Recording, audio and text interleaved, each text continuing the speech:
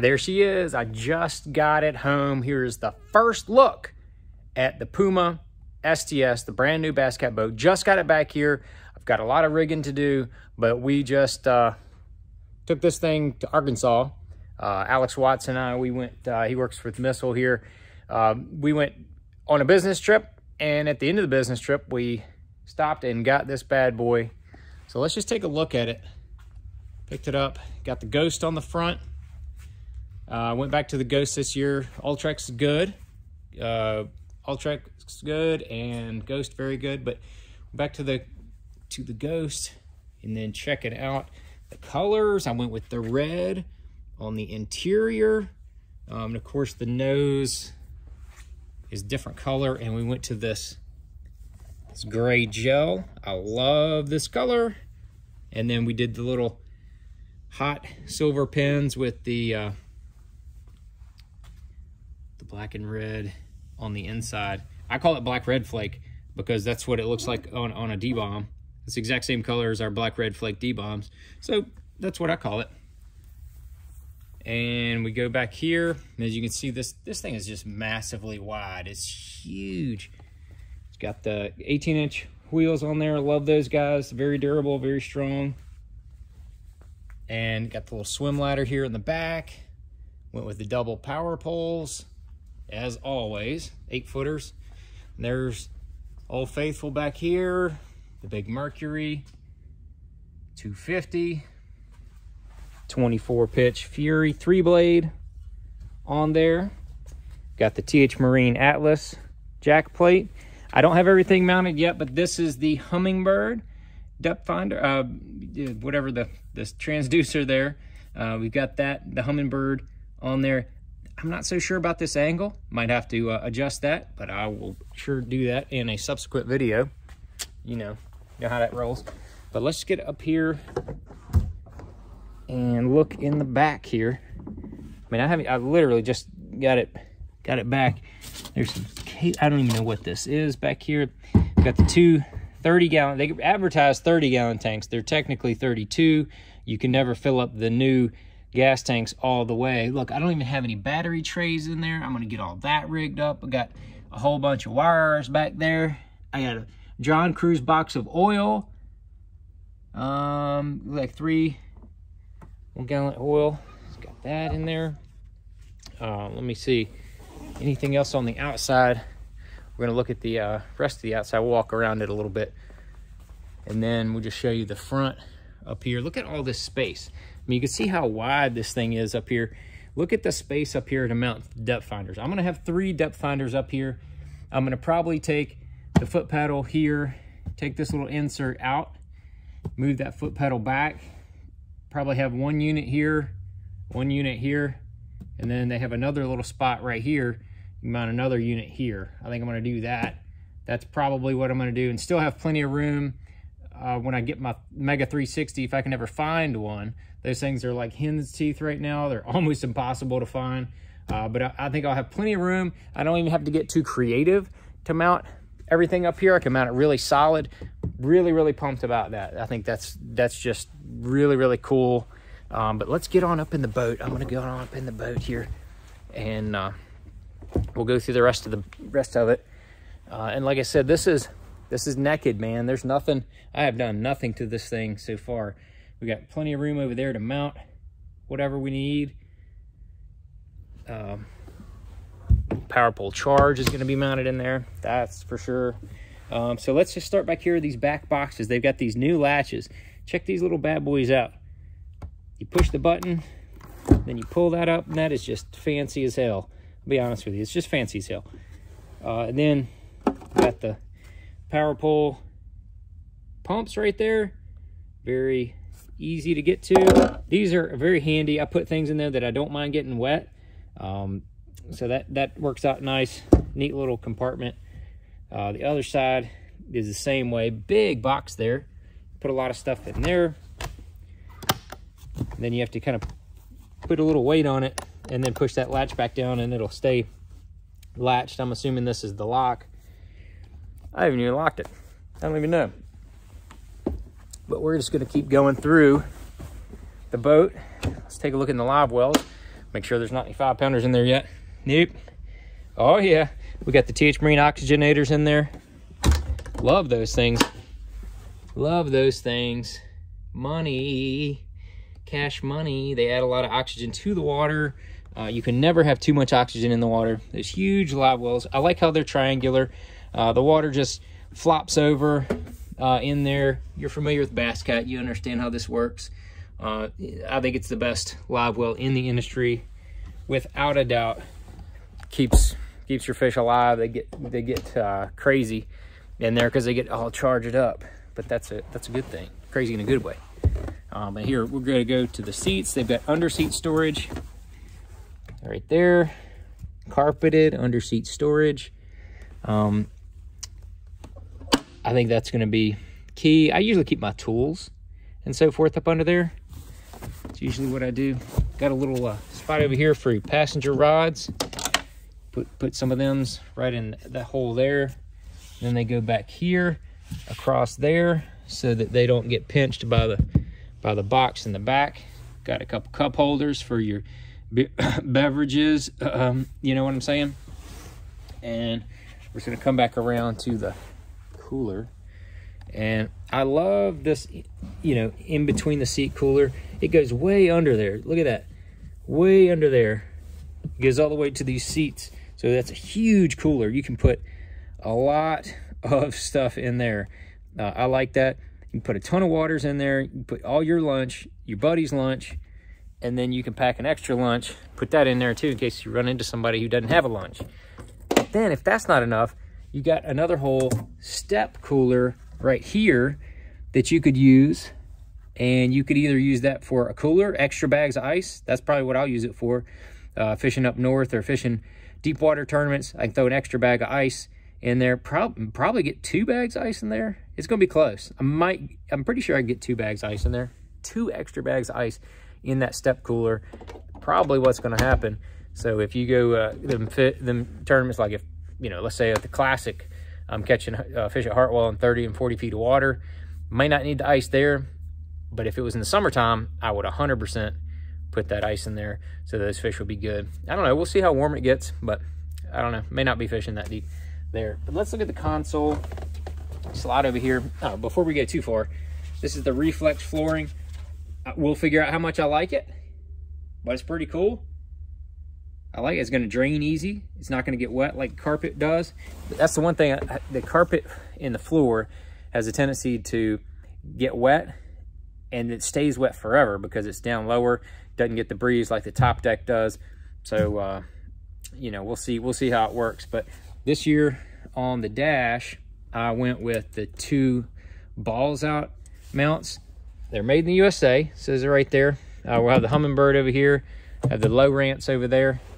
I had it the opposite way last year, so it'll take me a little bit to get used to that. Um, but I, I, like, I went with these once I saw them on this boat because they are, I mean, just as solid as you can get. And it's a very simple, small design. Uh, it's a minimalist. It's don't have to mount anything up here. And then you have this gap in between the two 12 inch units. You have this gap right here. I can have my water pressure and then my SmartCraft gauge, the Mercury SmartCraft gauge. I've got that right there. That's pretty much all the information I need. Um, you know, you got the PSI, um, a trim gauge over here, fuel gauge here, and that's the jack plate. And there's my power pole switch, A10 touch panel, love that guy. And look, see, I don't even have the battery hooked up yet because I don't have batteries in here yet. And then here's the, the master power, live well, empty and then we got over here, this is the, the brand new for Bass Cat. Now some other boats have had it. This is the plug. This is for the plug. When you have your plug in, plug out. Super fancy. I hope it consistently works. Uh, you got this deal for your phone. You can put your phone right in that thing somehow. Stays in there. Uh, I mean, everybody runs their phone, right? So we'll have that that there. I haven't even adjusted it. I think you can adjust that pull it out a little more. And then uh, that's it. We'll have the thumbnail um, windshield right there. That'll be pretty slick. And then, of course, this is adjustable. So you can see, You can adjust the steering wheel. So if you're a big old tall boy, you can adjust it like yonder. And if you're a shorter guy or you like your steering wheel lower, you can do that. Got the TH Marine hot foot right there, ready to go. I'll probably have to make that a little closer because I'm not 6'5", but you can see that there. We'll have that dialed in. And then you can see this is how my view will be. This is from my eyeballs. And you know, my 12 inch units will be about here. So I have I have excellent vision over top of all that. Have that that windshield there. It's gonna I like how this seat definitely sits up very high for a guy that's only 5'8. This is this is great for me. Um, so let's go on up here to the front. Check the rest of it out. I mean, look look how big this thing is. It's massive. It's massive. We got two places to put pliers, scissors, whatnots. And here we go. I hope there's something not, you know, that's not supposed to be in here. Got the little soft bottoms there. I like that. So your, your stuff won't slide around. I have no idea how I'm going to configure my boat, to be honest with you. Uh, this totally new, new design. I've been in, I've been used to the Eyra, had a couple Lynx and I don't know how this is going to work with my tackle, but you've got two of these kind of boxes right here. Um, they go way up under there. So I usually put clothes, lighter stuff, buzz baits, um, you know, hooks, and uh, some of the lighter stuff way up in there. You've got these little bins in here. I may leave them in. I may take them out. I don't know. Kind of like, this is pretty good. Pretty good. So you get four of those there. You know, four of those there. So we'll see how that works. And then you got your little net scabbard. Oh, Lord have mercy. The seat is in the way. But yeah, this is for your net scabbard. And much to it. This is where your net goes sliding down in there. And then let's look at the rod boxes. Very big. Very big. Um, there's my windshield right there. And, you know, you got two, four, six, eight, nine holes there, which means you can have nine, nine rods in there. You can have 10, 11, 12, 13, 14. Plus you can have some under, under there that are not in those. So I would say you could easily fit 20 rods and reels in this one rod locker very easily without being crammed at all. That's key. The Eyra had giant has giant rod lockers and i love that. I love that portion. And on this side we have a bunch of room as well and i had them not put anything on that side because i like to you know rig my boat myself. It's easier to do. I put the majority of my rods on that side. I put probably another dozen on this side uh, there's my depth finders now this is a 12 for the front that's the 12 that's already been mounted here. And I usually put, you know, helmet and some other materials, you know, rain suits, all that, Mama Striker rain suit. You put all that in there. Man, this that, that lid is very strong. I like it a lot. The lid is strong. So this is going to come together well. Can't wait to get this thing rigged. It's my first day to even play in this thing and look at it. So I'm, I'm very excited to see what it's gonna, see how it's gonna all go. But this up here, let me stand up here so you can see how big this is. Take that bad boy out. Now look at this. I mean, it is, it is an eternity up here. I'm gonna probably slide this back right here. Then I'll have all three of my graphs. I'll probably have one here, one here and then one there, I'm guessing. Uh, but again, plenty of room to put all that stuff up there. And then I got to finish all the riggings for the for the Ghost. Very handy. I haven't mounted my my rod straps either. I tell them not to mount mine. I like to mount mine myself. Uh, usually Basscat will put them up here. But I'm going to put mine out here. Usually I mount mine on the rod locker lid. So when I open my rod locker, I can see, you know, I don't throw my rods overboard or they don't get all pinched up. That's why I like that like that. Um, so we'll see, man. This is uh, this boat. is really, really awesome. Uh, this is just the first look at it, and hopefully we can get it uh, rigged up here before before too long. I've got a whole pile. Here, I'll show you a little bit. I'll show you the pile of, of things that I'm gonna be rigging on here. It's gonna get uh, it's gonna get ridiculous. Sorry, it's a little dark over here, uh, but I've got my my two lithium. You got a 36 volt battery, the Mondo, and the Mondo 12 volt. Uh, I mean, these things are beast. So that's right. Two batteries. Two batteries for that whole boat. Five graphs. That's all you need. That's all you need. Lithium Pros. Very cool. Uh, got Garmin here. Two Helix units yonder way. I think that's a LiveScope. Uh, what the, what the, who the, how the, I think that's TH Marine stuff. Yep, that's more TH Marine stuff. That's my battery trays. Uh, there's my fire. I already bought my fire extinguisher. Already bought my fire extinguisher, even though I got one already. Got my Basscat throw cushion.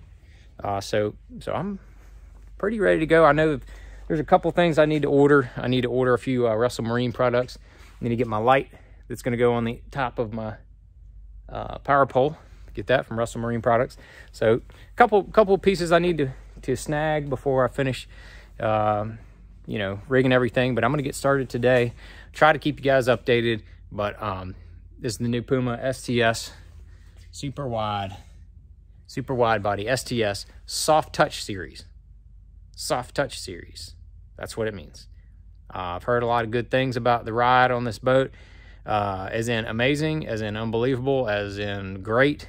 Still runs, from what I'm being told, in the uh, low to mid 70s, depending on your load. That is great for a 2,100 pound boat. It is uh, 20 feet 9 inches long and it is 96 inches wide, very wide boat. So uh, stay tuned for more videos on this things. If you want to see any other videos uh, specifically on on this boat, uh, I will definitely, I'm going to do my best to to kind of document all the rigging, how that's going to go, where I'm mounting what, why, and what I'm putting in this boat and how I'm going to mount all this stuff up here especially. I'm going to do the rigging on all that. But if there's anything additional that you want to see, please hit me up down there in the comments and let me know what you would like to see. So I appreciate everybody watching and be sure to uh, stay tuned for more on this. This is just the first look for the new Puma STS.